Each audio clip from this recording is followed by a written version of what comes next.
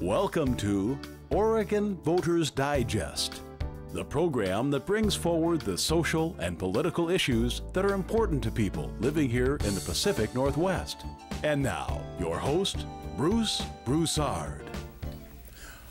Welcome again to this segment of the Oregon Voters Digest. I'm Bruce Broussard, your host. Hope everybody's doing well.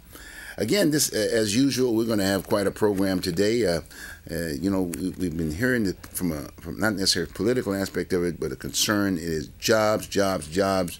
Uh, you know, from from uh, from as far as Congress is concerned, as far as the president is concerned, everybody's trying to figure out how do we get our get our labor force back in place, if you will, with the whole issue of uh, of work being basically outside of these United States and other areas. I mean, middle class are really having a tough time.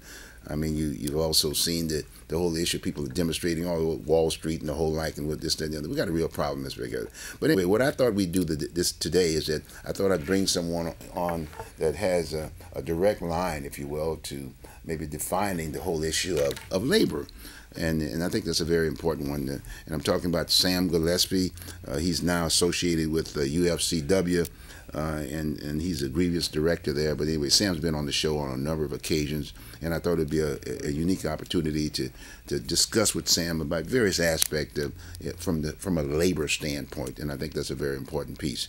So with that, I'm just going to bring Sam right on in. Sam, how you doing? I'm doing well, thanks. Good, good, good. First off, how's how's Nancy doing? Nancy's doing well. I got to make sure great. she's doing she's right. doing well. Okay, without Nancy's okay. I mean, nothing goes, right? That's right. That's okay, why I'm here today. She said okay. That's fine. I say uh, hi, Nancy. I want to make sure Nancy. I say hi, Nancy. How you doing, dear? Hi, Sean. Good, okay. good. Hey, by the way, let, us let's do this to, for the benefit of those who've not seen you before because you and I we've been we've known them for a number of years. But let's talk a little bit about Sam Gillispie and how did you get in this particular business? Okay. Okay. Talk about it. I'll try and give you the Reader's Digest version. But Okay. I, at 19 years old, went to work for Standard Oil of California, and uh, it was a union shop. And I was over in uh, uh, later in Central Washington State University in Ellensburg, and I became the shop steward. Well, long story short, I got fired for union activities, and I filed a grievance with my union. It was the Standard Station Employees Union out of uh, located headquartered out of uh, San Francisco and Seattle, and uh, took a long time, two and a half years, but I won my job back. Had I known that I was going to win that, uh, for sure, then I probably would have went to law school. But things work out for a reason. I wanted to teach school and uh, levy and bond failures in Washington State in the early 70s. I wasn't able to get that. But I had taken an, an exam, civil service exam in Portland, uh, Oregon, to become a laborer, and it was my third shot. So I lost a job early on in my uh, working life because I didn't take it. So I came down on a Tuesday and I said, okay. And uh, Thursday I was to start. I went home and uh, I worked myself into a union position. Three months later, What with- department was that you was working? I was working for the uh, Public Works Department, Department, and then right. they put me over at water, the Water Bureau, in Okay, Portland. okay. And in February 1st, 1975, I went to work for the union.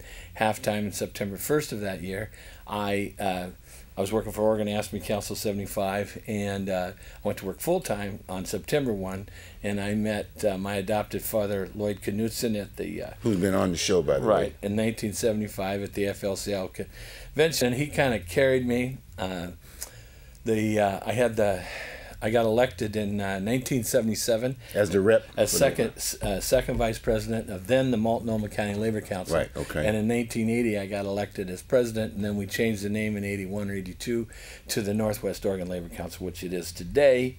And uh, That was sort of a very colorful career during that time. So who, I- who was mayor during that time? I, Well, the first mayor when I came were there was as Goldschmidt. Was Goldschmidt, Goldschmidt, and then uh, they uh, was actually Goldschmidt. Yeah, he was just becoming mayor. We supported him for mayor, and uh, he beat Frank Ivancie. And then when Neil Goldschmidt went back to Washington D.C. to serve as the Transportation. uh, transportation secretary under the Carter administration, Mm-hmm. Frank Ivancie became mayor, and then we had. Um, I think it was uh, Vera? no, no. Yeah, we we- had uh, Bud Clark. Bud Clark, yeah, we had Bud Clark. Bud that's right. Clark Bud beat Clark. Frank Ivancie. That's right. I remember that. And then one. Ivancie went back to D.C. Right. And then we had um, uh, Vera Katz, Vera Katz, and right. then we had, uh, of course, we we had Mayor Potter and Right. Sam Adams. Right, right, right. He's very, he's very. I spent three years of that time in Wisconsin, Mm-hmm, uh, and from uh, 1988 to 91. Then you came back here. And Right. You were working for. Went back to work for the city for a little bit, Okay. and then I went back to work for AFSCME, and then I, in the year 2000, I went to work for UFCW as a union rep, and then uh, about a year and a half ago, President Dan Clay and Secretary uh, Treasurer Jeff Anderson hired me as the grievance director for the union. okay. And what's the nature of that particular job? What, what do you normally do? Well, we have just What under you do as a 25,000 20,000 members in the entire state of Oregon and Southwest Washington is our Mm-hmm. jurisdiction. And uh, we have union representatives file grievances, and then we work in a collaborative effort together as a team, and uh, we decide which cases we take to arbitration and which ones we don't. And I'm pleased to say that our uh, present administration taken a much more aggressive stance, something that we staff people have wanted for a long time. And if we have a 25 or 30 year employee who may have done something wrong, but probably not a dischargeable offense, we're going to take it to arbitration. We're going to go down swinging, so to speak. And I'm very happy about the aggressive uh, nature that our union. And that's getting together with workers. the employer, right? You basically Right. sitting down with them, and then I hit both sides negotiating that piece. The arbitrator is a neutral third person. He's Okay. selected mutually by the parties, Okay. Mm-hmm. and you go to a hearing. Usually takes at least a day. Sometimes they're two or three days, but most of the time we try to get them done in a day. An arbitrator is hired. They hear the evidence. If it's a discharge case, the burden of proof is on the employer. If it's a language case, it's usually the union. The, the arbitrator hears both sides. We do a post. We do an opening statement. We present our evidence. Then we write. Uh, we close the hearing. We do a post-hearing brief, usually 30 days later, and then 30 days from that, the arbitrator renders a decision, and that's that's what organized labor does. Good, good. And I know the the other thing too is I think when we met, we were sort of met in Salem. I think you and I. Uh, you were lobbying at that point in time, and Mm-hmm. For I think I uh-huh. was doing something similar, Right. or whatever. We just sort of met along the line. There you go. I, I wanted to share that with uh, with my viewing audience because um, we want to make sure that sometime from a career standpoint, we got lot young folks out there trying to figure out well, what am I going to do, especially nowadays. You know, people graduating from college, nothing to do. Well, there's that, you know, there's a, a lot of people where college is not uh, there. Right. I, I tell you, you know, you, there's the building trades that there's, uh, you can get an apprenticeship program, and there's a lot of worthwhile jobs that need to be done and performed, and you don't need a college degree. Are there opportunities in the trades now? Well, it's kind of down because uh, of the economy. The building trades are reported as high as 35% unemployment uh, at one point in time when the state's been averaging right around uh, 10 and the national average still hovering at 9.2% unemployed. Way too many people unemployed. Well, now, now that you've given us sort of your background on it, let's talk to something more specific in regards to what's on the table now in, in terms of work, and then talk about uh, your involvement. Uh, uh, quote uh, some of the some of the areas that you are are, are focusing on to. Uh, to, to, to specifically on that on a particular project, you know what I'm saying? Okay, Like, like, well, like the project all- labor agreement, things of that nature. Okay, project labor agreement uh, is something as I'm on the executive board of the Northwest Oregon Labor Council, Okay. and uh, we made a I, made a motion, it passed, and was approved by the night body last Monday night on the 24th.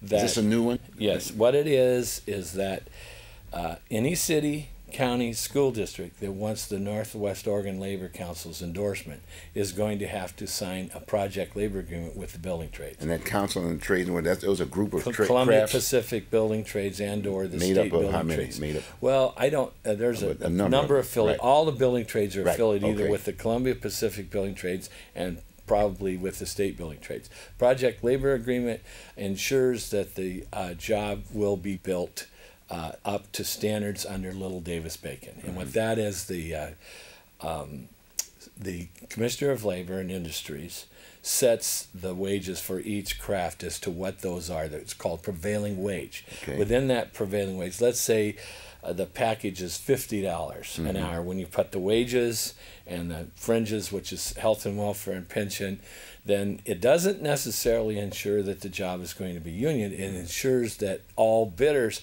must pay These that prevailing prevailing, wage. Okay. Now the problem is, is that the community standards that the ba- Davis-Bacon Act was set out to do was to ensure that workers, uh, building trades workers, would have um, their wage, they would have health and welfare, and they would have a pension.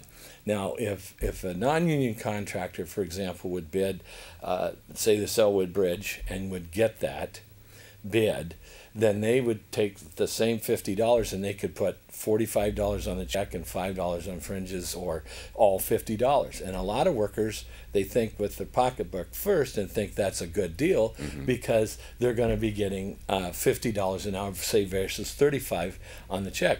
But what I think that's short-sightedness because Mm-hmm. they need the health and welfare and they need the pension, Mm-hmm. and that's what the labor movement does. It provides family wage jobs, good health and welfare, and a pension. So when the worker retires, he or she will have a, So, so in that project labor agreement, uh, whether you're union or non-union, do you still have to consider the, the pension piece and the and Well, it's a and- package. Let, let, us say that whole like, package. That it's a Both whole ends? package. It's the wages and uh, the health and welfare and the pension. And Right. let's say that's a fifty dollar package, okay. The non-union company, what they will do is probably not. They don't. Most They of won't them do- don't they have. won't require that. they don't have. Most of them don't have a pension. Right, right, right. Or it's a four hundred one. But in this agreement, you, you, you they're what forced this to would do this. this would with a project labor agreement. Okay. What we're saying in the Northwest Oregon Labor Council to support our brothers and sisters in the building trades is that if you don't build, for example, the Sellwood Bridge, Right.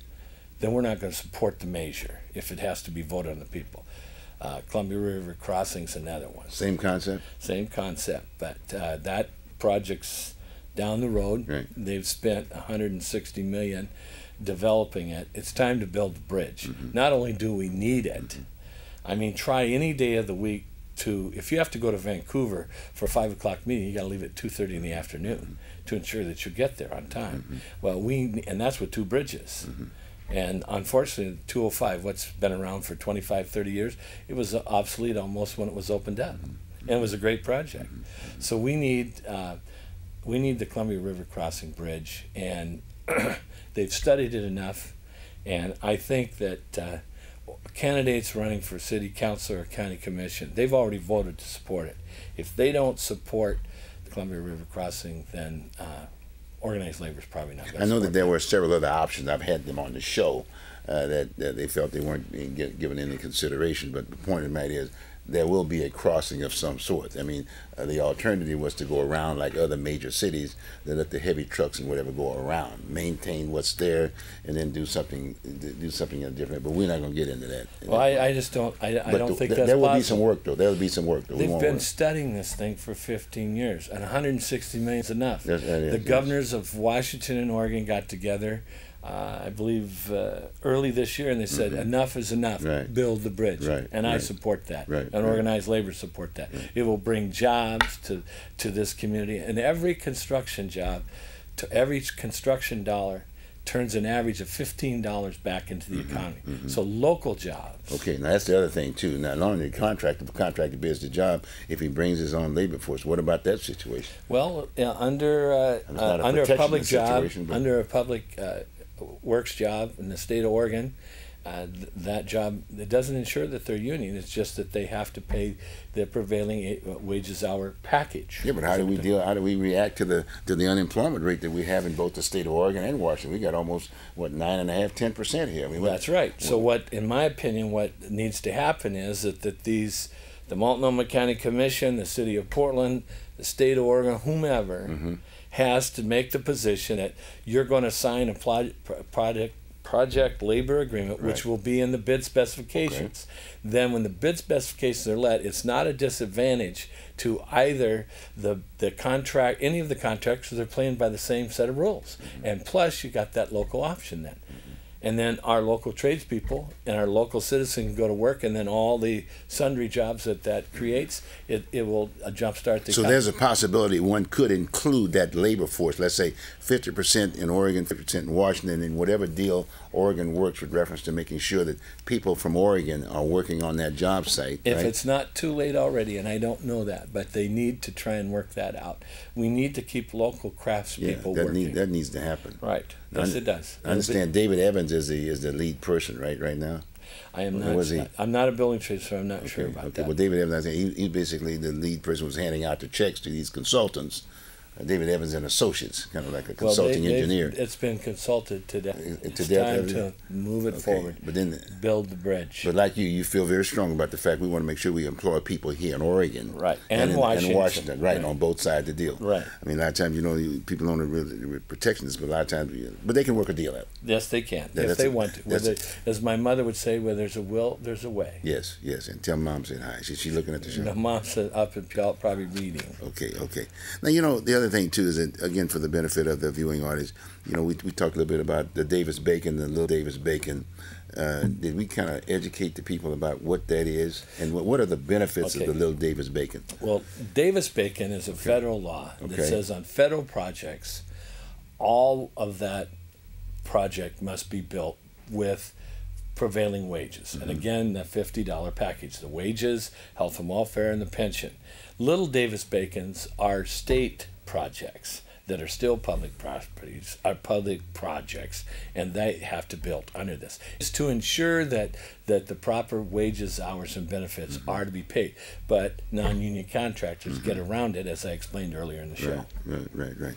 Okay, well now part and parcel of that is that uh, could one define maybe uh, the middle class? You know, we hear this business about the middle class. How many middle class folks are going to be a part and parcel of a project like this? well Let's talk a little bit about that. The middle class, without And what is the definition of a middle class from your perspective? From my perspective, is without the organized labor movement Okay. in this state and in this country, we wouldn't have a middle class. oh, how'd we get there? Well, because they insisted on family wage jobs, Okay. health and welfare insurance.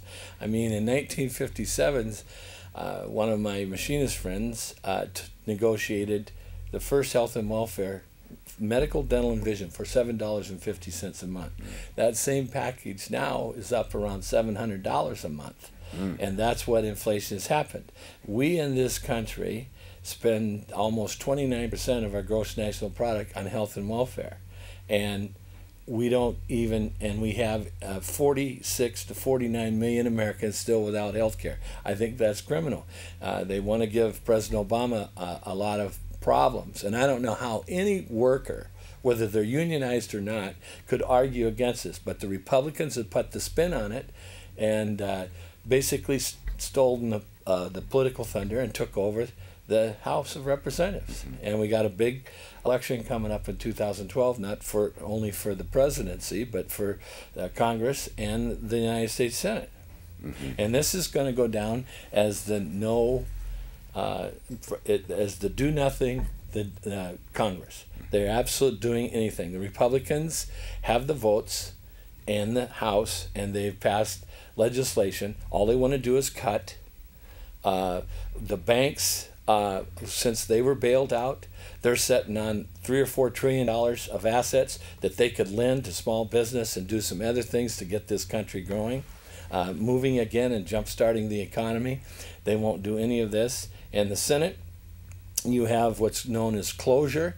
Takes 60 votes in the United States Senate to end debate. Right. And so much legislation over the years, they've had 50 per, 50 votes plus one vote. They've had 51 or more votes, but not 60. Not 60.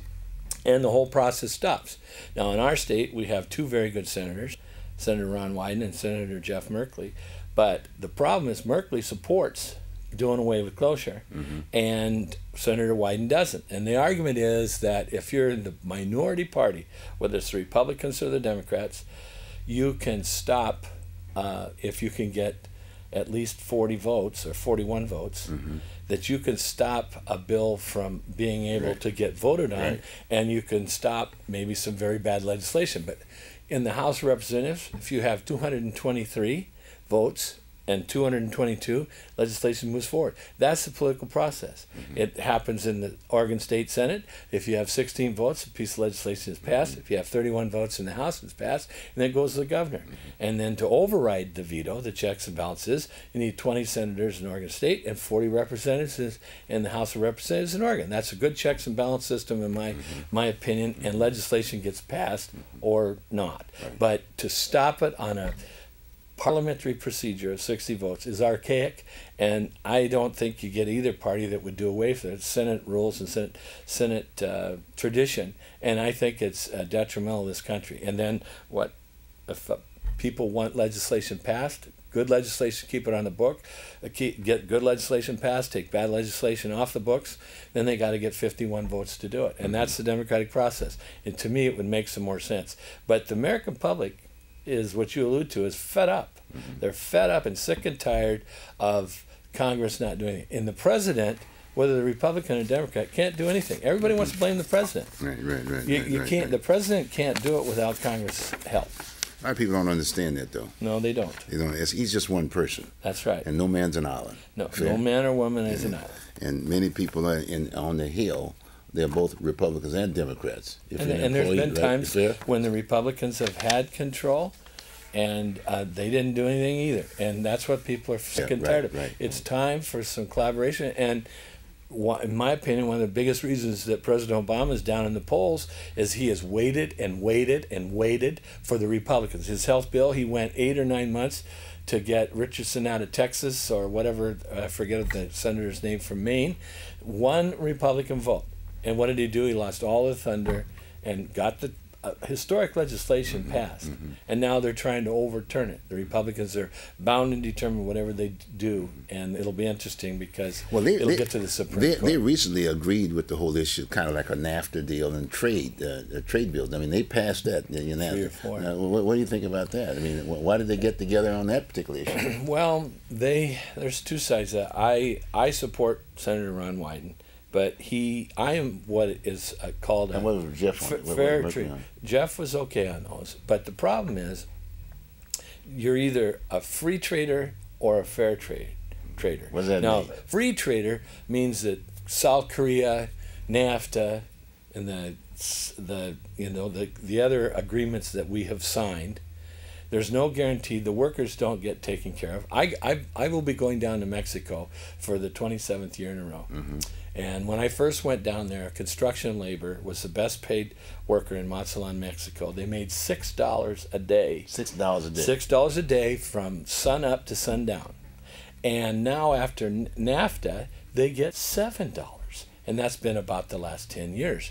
So seven, and they work six days a week. Uh, All these Mexican people, they're a very strong Catholic nation, so they Sunday's worship day, but people in the hotel industry and service industry still have to work, but people work six days a week. Uh, waiter gets two dollars and seventy cents for an eight-hour shift. So what has NAFTA done for the Mexican people? Nothing. And when we outsourced all those jobs, Yeah, that's the a other. Freightliner, that fifteen hundred or whatever, how many jobs that Many, machine many jobs. went down south the border. Now they've taken all the small control and the regulations off, and now uh, Bush Bush before he left, he's letting them cross back across the the into the United States. Now where's the fairness there? Well, Sam, tell me this now. When when they were talking about this, you know, I and we just we just having a, general, a conversation about this deal, and when the when the owner, if you will, was saying, "Gee whiz, I, I'm losing, I'm not making a profit, if you will," and that's the whole rationale for I've got to ship this stuff out because I can get a I, I can get a better deal. Okay, well, were, were were we all at the table? Was it were the were the were the Well, laborers or- at the table? Organized labor was not arguing for this; they were arguing against it. We had you had family wage jobs, right? Good health and welfare, and good pensions, union jobs, and they outsource them out. These people are laid off, and hey, they have to find a job, much less paying if they can even find work. And it's time for the country to build its own. Mm-hmm. Look at the money that we're spending. And I am I am kind of a, a hawk when it comes to war. But look at the money that we've spent in Iraq, Afghanistan, Kuwait, Pakistan, all of that. And uh, the president has just announced by the end of the year that the troops are coming home from Iraq. But look at that. Hundreds of billions of dollars. Now, if we'd have But taken people that, were making money. I know Contractors here were Contracts making money. I but mean, workers weren't uh, making you money. know, in all due respect, military folks with, with family, made, uh, right? They were making money. We're now we're now at thirteen and a half trillion dollars national debt. Oh, yeah. And if we would start to rebuild our infrastructure, in 1900, the city of Portland built dam number one. In 1950, they built dam number two.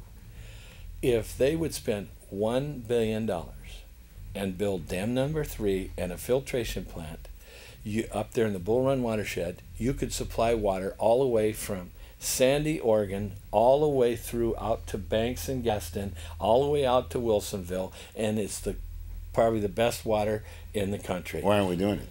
Because we can't get the billion dollars. Where's the congressional delegation? Well, I don't know Are they thinking along that line? I don't know, but you see, again, you got to get it through out of committee. The Republicans are never going to do anything because that's going to put people to work. Look at the but somebody got to submit look at the though. thousands of jobs that Right. would take Okay. to put there there, and look Okay. what we would do it for our system. Oh, yeah, that's and huge. that the Tri County area, what do you got? Two and a half, three million people, Oh, yeah. Oh, yeah. and every entity could get service from that. How many states does that involve? No, it just just the or it, this is just on this side of the river, this side of the river. and and it's the Tri County area. You would start at Sandy up there in the Bull Run watershed, Right, okay. bring it on down, and you put that third dam in there, Mm-hmm.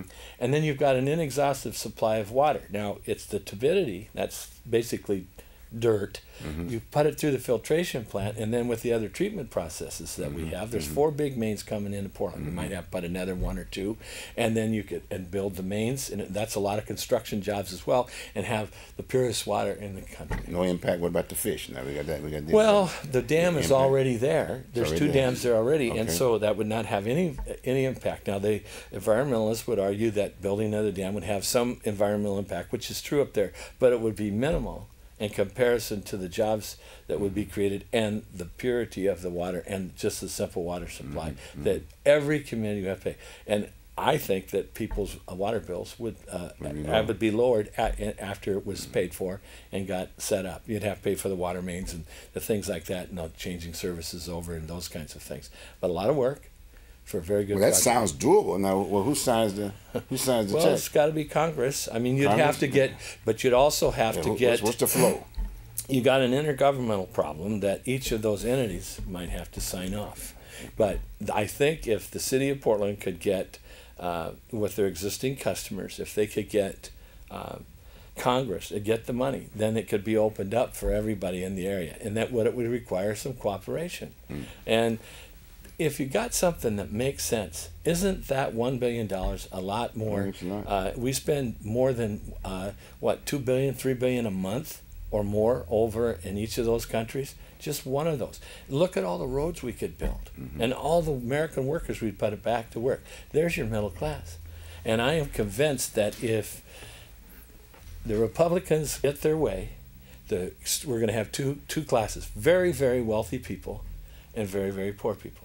Now, about eight or nine months ago, on 60 Minutes, and he was President Reagan's. It starts with a B. Forgive me, I don't recall his name, but he was he was the author of the trickle down theory that never really worked. But he said that if you would take the wealthiest Americans, those that make a million or more, mm-hmm. and tax them five percent over two years, they would pay additional five percent.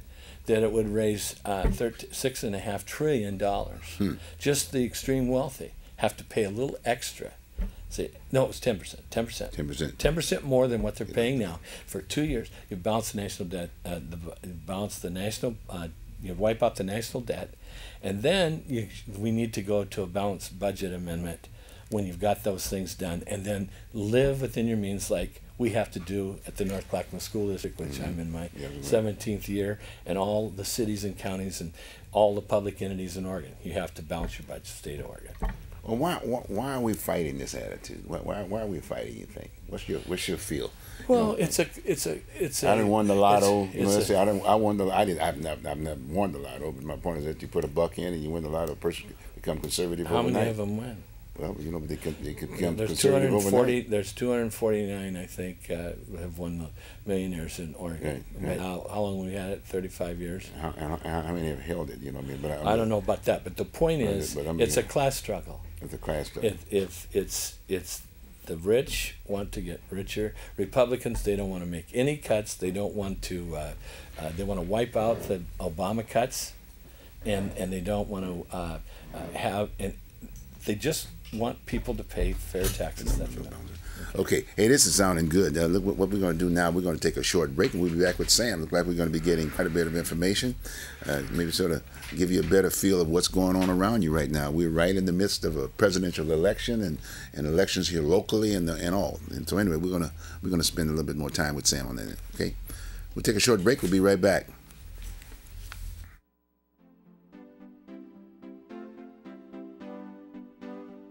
You are watching Oregon Voters Digest.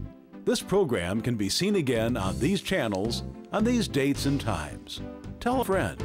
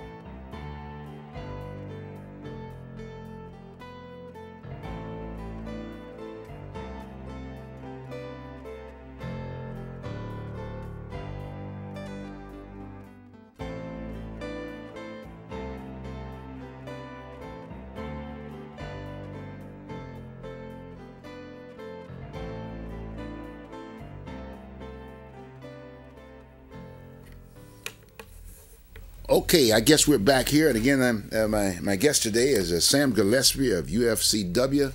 Uh, we're talking about uh, since I, since the major issue today is that uh, we, the high unemployment rate we have here in Oregon, and even from a national perspective, and it's it's all about how do we get people to work. And in all due respect, uh, many of those folks, uh, uh, the, the focus area or focus group that tends to identify with the definition of labor force, in all due respect, is the union. You know, sure, there's open shop, but in most cases, a lot of times, open shop uh, entities are pretty well identified as the as the contractor aspect of it or the management end of the of the business.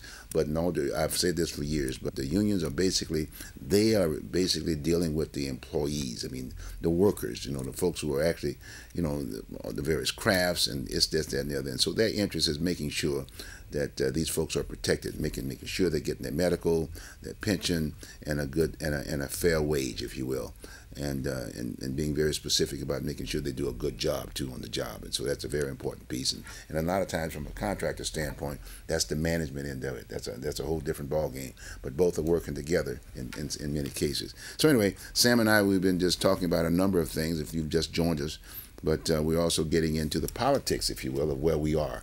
You know, uh, we've talked a little bit about. Um, Davis Bacon, Lil Davis Bacon. We've talked a little bit about the whole issue of NAFTA, and I want to spend a little bit more time about that piece because we did go through a time which you all of a sudden we just sort of we started shipping shipping our jobs out, of this country, and in all due respect, in some cases, uh, both sides were involved at the table.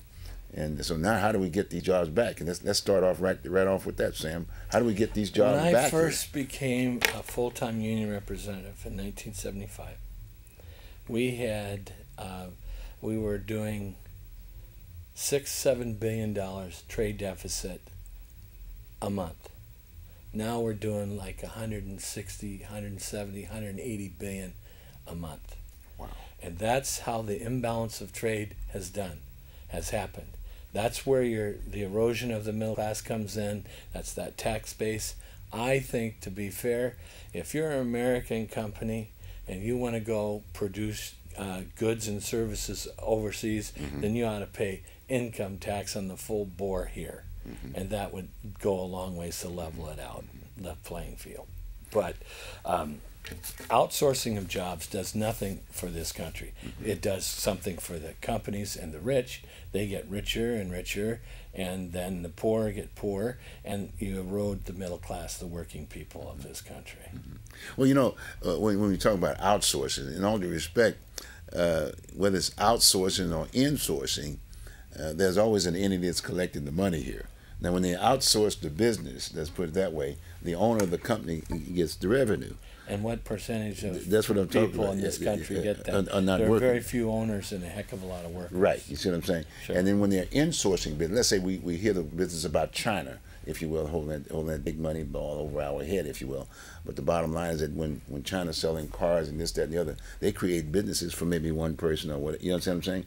It's not a situation where you have Chinese. Where do the profits go when they when a foreign-made car? I don't drive one. Okay. That when the car these and some of them are okay. The United Auto Workers have them organized, and they get livable wages, working conditions, health and welfare, and pensions. But where do the profits go? Overseas. Mm-hmm. So that's the whole thing. And uh, I'm not saying that. How can we say no to that? Well, well, we don't be a protection. I alluded to it earlier. Yeah. Okay. Uh, free trade is what we've got in all the all these Yeah, trade across the board, agreements. right. Everything goes out, and they bring whatever they come in without any tariffs. Fair trade would be the same thing that we would put a tariff on their goods coming in. Right. And that's what you call fair trade. Why hasn't that and been that done? Would be, because politically, Politically, politically, both sides, both of them. big money involved. Right. Right. Right. Big money, and you talk about a world economy. Now, I'm not saying that we have to be ethnocentric and Protections, yeah. build a, a little a Yeah, build a fence yeah. around this country. right. But we have to start doing a little bit more to take care of our own in Mm-hmm. this country, and our own people, and our own infrastructure, and talking about getting rid of the postal service. Mm-hmm. I mean, it's in the Constitution, and what people don't know is that they said that they had um, the government forced on the postal service that they had 75 years of health and welfare and pension contributions that they had to make up in 10 years. So basically, it's called their unfunded liability. That is just craziness. But yet, that's what uh, the government did and Congress did to the Postal Service. The Postal Service is actually making money if they didn't have to pay this all back at that rate. And look at it. Uh, they complain about supporting uh, Amtrak and the freight system in this country. When you start not taking care of your roads, not keeping your railway system up, losing your postal service, or cutting it back, that's what this country's all about. And so it's time to start taking care of ourselves and these entities with American workers and American uh, family wage jobs. You know, going back to that post, that was kind of interesting area because you figure with the technology that we're having right now, you know, with these smartphones and this, that, and the other, and especially with the with the young folks coming up, where a lot of times they're not using the services. Well, I heard the post uh, postmaster general uh, on a talk show about two weeks ago on the way to work, Okay. and he was talking about his efficiencies, and he said that techno- technology Yeah, had hurt them crazy, some, yeah. but there's a, still a huge demand, and to cut out Saturday mail service, and to close. 14 1500 2000 3000 rural post offices Mm-hmm. uh, and eliminate saturday mail i don't think that we need to be doing that in this country I mean, this this is an investment in ourselves, and let alone the jobs. The postal workers do it, and the clerks and everybody that makes the postal service work do a, a fine job. Okay, all right. Well, I'll tell you what we'll do, folks, at this point in time. If you'd like, you'd like to join in the conversation, you can give us a call. I'm going to put the phone on the phone number on the on the screen, and you can give us a call. And for those of you who are interested in sending us out to some other folks, you can email us, email the show, if you will, because we're on YouTube now. You can you can email it out. Uh, uh, this is a live show now, but you can email the show, and, and then they can you can share this this conversation with others uh, uh, outside of the area, if you will, for that matter. But uh, again, uh, let- let's talk a little bit more about uh, uh, the other concern. Is that okay? We got these concerns, but people are very upset with government. I mean, i.e., elected officials now. I mean, people are really upset. They're not taking the lead. Well, the point is, I think the president has tried to show leadership, but he's not Yeah, getting no any man's an island. What- what- well, that's it's it. the see- Congress. It's the well, Congress. it's the I mean, Congress. what- the are they gonna do? The Republicans are sitting on it and doing nothing. He went with them. He met with them. He said, "Give me a plan, show me an alternative," and they have none. Uh, put a jobs plan together. You see any of the Republicans? You see the Republicans in the House coming forward with a jobs bill. The President's put a jobs bill on the table, and they won't. They won't even endorse it. They won't hold hearings or anything else. That's what you get in Washington when you are the uh, in charge in power party. And the American public's fed up the Republicans or Democrats. But uh, we passed a lot of legislation uh, when we in the first uh, two years that uh, President Obama was in office when the Democrats had control of both. Mm-hmm. And they had an agenda and they got a bunch of things done. One of them was health care. Was it a perfect piece of legislation? No. It could have been a lot better if the Republicans would have participated in the process and worked it out and compromises were to be had. But this big committee they've got, what is it, a committee of 10 or 20? Yeah, equally, uh, equally and, and R's and D's, right? R, and House of Representatives right. and, and the and Senate. The Senate, right. And they're. Uh, Senator Patty Murray from Washington State right. is one of the co-chairs. Right. One of the co-chairs, and uh, all we get from them is that they've done nothing. They they don't want to. Uh, they want to take away the taxes on the rich that were instituted in the first two years, which were a revenue enhancer. Mm-hmm. You're spending. We're spending more than what we're taking in. That's understood, but you have to put some revenue on the books, cut spending, and, and do it logically. And they won't say whether they're going to touch Social Security. Whichever party messes with Social Security will be unelectable. Well, you know, as you as you're making that point, and all this all this talk back and forth routine, it's supposed to be a government of the people, by the people, and for the people. Right. And we elect folks to basically represent that entity. So representative. You see what I'm saying? So maybe, maybe I, am just throwing it out. Maybe we, we, should have voted on the issue rather than quote. Uh, maybe uh, letting our representative basically talk to this president back and forth politically because everybody's trying to vie for their for their own situation. You got me? Just a few minority, but the majority of the people are saying we don't like that form of situation. Why can't they just go on with a national vote on some of the issues, some of the main issues like health care and things of that nature? Why well, can't we do that? Well, you could, but again, you'd have to get 223 uh, House of Representatives to agree to do it. Then the Senate would have to get 60 votes to ju- 60 votes just to close debate, mm-hmm. and it never gets done. And That's why it's a constant they're represent, circle. And they're representing the people. That's right. And then we're right in the midst of politics, i.e., uh, you know, one side's a Republican, one side's a Democrat, and they say, look here, uh, Republicans are in, so guess what? I'm not going to do anything that they're wanting to do. Because I want, I want the seat, and vice versa. The Republicans' whole whole agenda is cut taxes, no revenue, and not take care of people, and and they call, uh, and and they are Medicare, Medicaid, and Social Security are entitlements.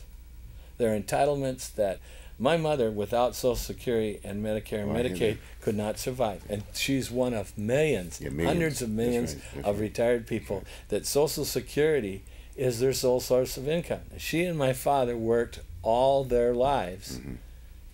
So that they they could have this. FDR had this vision. Everybody called it the great thing. Now they want to start tampering with it. Well, I've been paying Social Security since I was 14. My dad got me work permits so I could flag for him on jobs and I want my cut of the mm-hmm. pie in a few mm-hmm. years when I retire. I mm-hmm. want my Social Security. I need the Social Security. I paid in it all my life. I would be even willing to raise it a point or 2 mm-hmm. If you raise Social Security, they've got a temporary cut on now. You go back to where we were and raise a point on both the employers, one percent, and one percent on the employees, mm-hmm. and you take the cap off. You'll balance Social Security, and then they got to put Social Security in the bank and leave it alone. Well, they've been spending that, that for years, uh, and that's the problem, and it has to be fixed, and they need to fix it. It's a it's a huge problem. Hmm, hmm, hmm. Well, you know, I guess the other thing too about this whole issue with the health care bill that uh, that President Obama put on the table, there was some from from here at the Pacific Northwest that didn't didn't didn't support it. I think DeFazio was one of them, and everybody well, had their own plan, so to speak, as opposed to just. Uh, you know, one thing I can say about those Republicans, they do stick together. Well, does that help the process? When no, it doesn't. Get, but I'm just saying they're the party of obstruction. Right, right. and that's what they are. And okay. people are elected. Mark Hatfield was a, a Republican oh, a senator yeah. who had respect on both sides yeah. of the aisle, but he knew how to compromise. He he he used the political process to get elected, mm-hmm. and then he went back to Washington. He was respected by both sides of the aisle to find compromises and pass legislation that would help people, the people that elected him. Mm-hmm. And we've gone way, way out of bounds of all of that. And until that gets fixed, there's some people say throw out everybody. I don't support that. But there's a lot of people that just think everybody should be tossed out and start over with a whole new slate. Mm-hmm. Well, you know, you got we got President Obama now, and you, you notice it was once he was elected, uh, immediately the chairman, of the, the Senate chair, um, uh, McConnell, uh, Senator McConnell made it very clear that uh, he's going to do everything he could just to make sure that he didn't get reelected.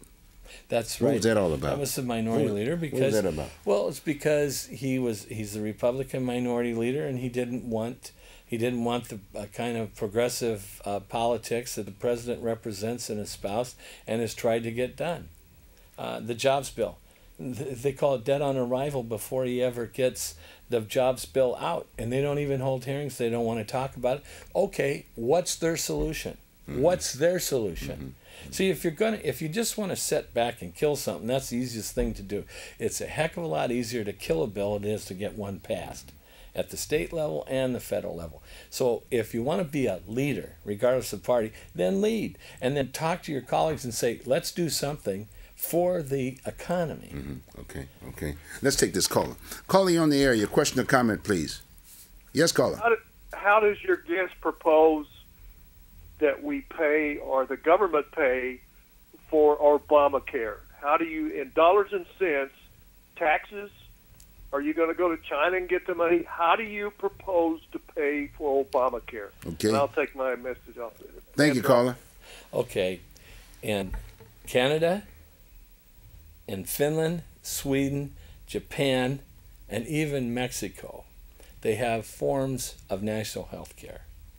Now, is the Canadian system perfect? No. But they have, uh, everybody has access to health care, and it's 10% of their gross national product.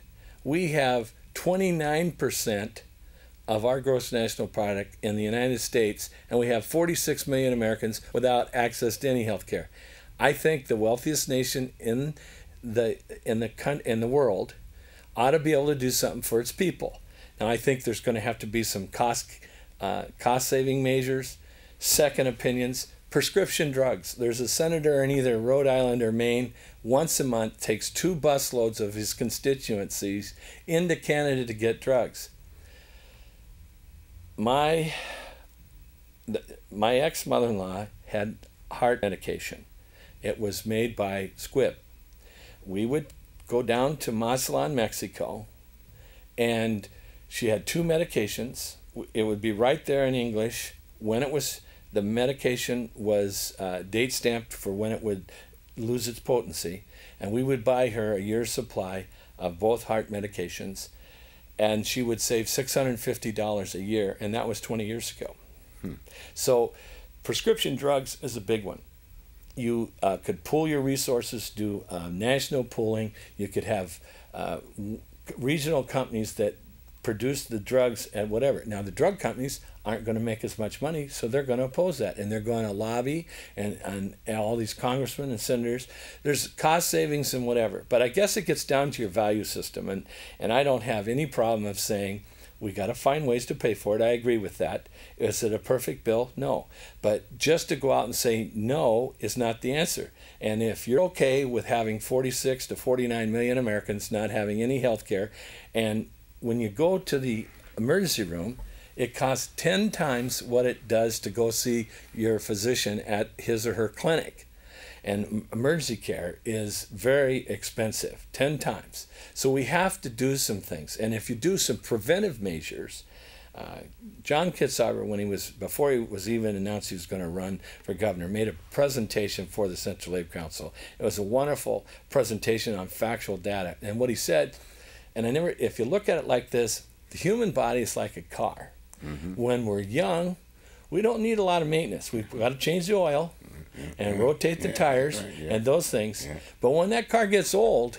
It it start the parts begin to wear down. The engine goes and and you know You the, the air additives. You need conditioning and, and everything else. so what you do is you do preventive things. You do maintenance along, and that's one of the things: heart disease, cancer, some of these other things that people need to do and get smart and and do things better. I can lose. Uh, I've lost 15 pounds. I need to lose another 60. I want to live to a ripe old age. My mother's Mm-hmm. going to be 91. I want to join her at 91 uh, someday. She'll be gone by that time. But I want to live a long life. I've worked hard, and so we have to do things to live a healthy lifestyle. So it's a matter of philosophy sometimes. Tell me this: What do you feel about increasing the age of uh, retirement? Well, I don't think that. Uh, When I say retirement, I'm jumping for, for, for, to me, you work your whole Social life Security. to retire. so, yeah, okay. okay? And anyone that does not get 20 years of healthy, happy, productive retirement where you can just relax and enjoy life, your grandkids, your great grandkids, travel, do something, then you've been gypped. You've been denied something that you should get. How many times do you hear somebody, they retire and within two years they, go, they die? That's criminal, but it happens. And so, um, raising, they may have to raise the level of retirement on younger workers to make the system work. But in my opinion, you, you've got to do something to, to fund Social Security. What we in labor call for a pension plan is the, the same thing unfunded liability. Well, we made a commitment, everyone pays Social Security. Even people that are self employed, then I think they're entitled to get something. Take the cap off so everybody can get it, raise the percentage one on one, leave it alone, work on getting the banks to invest money in this country and to workers and projects, the infrastructure we talked about, the one billion for the uh, the third dam and the filtration plant in the city of Portland water system, what that could do for the whole region, and then in addition, how many jobs that would that would produce and put people to work. And it takes time, but those are choices that I think we can make and better spend our tax dollars. Okay, good. Uh, caller, you on the air. Your question or comment, please. Yes, caller. Hi. Hi there. I have I have a comment I'd like to make, and I'm wondering what you guys think of it. Sure. Um, I think that everybody blames the president uh, about the economy, but um, I have some other ideas, such as um, overseas uh, buying started about the time that quality air equipment was uh, coming through, being voted through, Mm-hmm. and um, also computers have taken a lot uh, of jobs away, and um, then uh, I don't know if it's ever a good economy during the wars uh, that we've had through the years. And I'd also like to say that um, I would be all for the Obama medical plan, but I saw that it wasn't quality care in Oregon when we tried it, especially dental. They wouldn't see me unless I needed a tooth pulled. Mm. And unless my pain was 10, you know. Okay. And um, so I just wondered what you guys. It, I think it's a big combination. Oh, there's more people too as far as finding jobs. Right. Right. Right. Thank you very much, Carla. Let's let's go backwards on it. The Oregon Health Plan was a good concept, and what it was to take care of was people that had no health insurance whatsoever, and so all they could afford to do was take care of, like you said, if you had unfortunately have a um, uh, have a tooth uh, pulled. If you have a healthcare system that takes care of everybody and all of your healthcare needs, then you can do the preventive uh, stuff that uh, preventive care that you need to do, so that you you won't have to go in and have the tooth extracted. They can repair it, the tooth. They can fill it. They can get the ca- cavities, uh, early detection before it takes your the whole tooth. Just like cancer, people survive cancer these days based on the fact that of early detection. If every but what about the 46 million people that in this country that don't have any access to anything like that? And I just think, and I'm a I'm a Democrat, I'm a liberal, but I I'm a person who cares about people and think that everybody should have uh, a be able we they ought to have health care. They ought to be able to have medical, dental, uh, vision uh, care. Okay. We will say one thing. We're having a discussion. Right. It's a discussion now, and, Right. and it, it will something will bottom line on it. You know, from the standpoint of saying this is the health plan that we'll have in these United States. One one way or the other, it will have something. Right? Fair. Well, we're either going to have one or not, and if the Republicans get their agenda, uh, again, they did, they were given multiple opportunities to come up with a plan and didn't. That's where the confidence of the American voter, the average uh, citizen, doesn't have any confidence, and rightfully so, in Congress because they don't do anything. And you got to set party differences aside and lead. It used to be that being elected to the uh, city council or to the state house or to the Congress or the United States Senate was an honor, and you served because you wanted to help the people. Now they'll all espouse that that's what they want to do, but we've gotten way far away from that and needs to come back to that. Okay. That's my understanding. Well, now that you know this is this is Governor Kitzhaber's second term, if you will.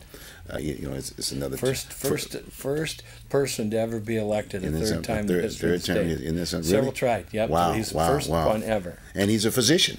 That's right. See, He's that's right what in basically put emergency that room. Yeah, he's an emergency room, and he was basically the one that put that first health plan together. Yes, he did, Right. as president of the Senate right. and as governor. And I'm sure he's probably talking about this at this point in time. Sure. Okay, good. Look, we have about a couple more minutes or so. If anyone wants to give us a call and and uh, and pose a question to Sam, he's willing. You, you can see he's very open, and we're honored to have him here now because, in all due respect, we're talking about jobs, jobs, jobs, and one way or the other, we've got to do something, folks. We really have to do something. It can't be just an I type thing. But at the same time, we elect people to be our leaders, to talk to these issues. Very, very important. And my point is that give them a call. Call them up. Ask them where they, where is their position. What are they doing? I mean, right now, in all due respect, I, I just noticed uh, uh, President Obama's out there beating the beat. Where are they? I mean, where are they knocking on doors on both sides of the aisle, as far as I'm concerned? I mean, what are they doing here in Oregon about jobs and what just like the caller just called about the whole issue with the uh, the health care bill, about everything for that matter. We got to get out of the politics to a certain degree and let the majority of the people represent where we're going. And the only way you, you got that right now is through the elected officials. That's right. Okay. Well, they're a voice. We're a representative democracy. That's right. True democracy is one person, one vote, That's right. and uh, we can't have that in this right. country. That's right. Uh, we have representative democracy, so we elect people to represent us, That's right. and they got to go back and represent the majority. And the other problem is, you put ten people in a room, you're going to get ten ideas of how to fix it. If Mm-hmm. you can't come to a consensus and compromise, you're not going to get anything done. Uh, it's just like we in the union. We don't get five positions. We don't get four. We don't get three. We get one, Mm-hmm. one position, and it's tough to get smart, strong-willed individuals together, and that's what you have in Congress Mm-hmm. and you have in the state houses. But real leaders find ways to cross the aisle, so to speak, Mm-hmm. and work with one another to get legislation that's going to benefit people, Mm-hmm. and to get the president or the governor to sign the legislation. You know, we got about two or three more minutes. What's going on at the legislature right now? Any any feedback on, on the whole issue of jobs and this, that, and the other? Well, they've done what they can. I mean, uh, just the whole school issue. When we went out of, uh, um, like I said, I've been on the school board for 17 years. I ran for the legislature in '94 and again in 2000 to get uh, permanent funding for skills, and we're not any closer. We, uh, our former su- superintendent Ron Naso thought it would take three years. We're already in our fourth year, and we've got, we think, at least three more and we can't do any more cuts. We're one of the options we're looking at is a local levy. Be- Beaverton's got one, not because they want it. Portland at least got their 49 or whatever million operating levy reinstituted. They didn't get their bond bill, uh, and it was only about two thirds. Uh, Oregon Public Schools should uh, they need to refurbish those buildings, get the asbestos out of them, update them. The education takes I don't know uh, a big chunk of the state budget. Started with uh, ballot measure five, all to limit taxes so it would have enough money in state government, and the corporate. Uh, when I first started lobbying the legislature, uh, citizens paid this amount of money, corporations paid this. Now it's reversed. And if the Democrats who had control in those years, Yep. with Democratic governors, Democratic House and Senate, would have heard the call instead of all the spending and brought it more to a level playing field, it might have taken care of it. But they lost an opportunity. Well, on that particular note, an opportunity, we're going to get him back here so we can talk a little bit more about that education piece. Again, we've run out of time, Sam. Thanks very much for being with us. You bet. Appreciate it. And as George Page always said, folks, as I've always said, back to what you believe in. Have a good one. See you next week. We've got a good show next week. Take care.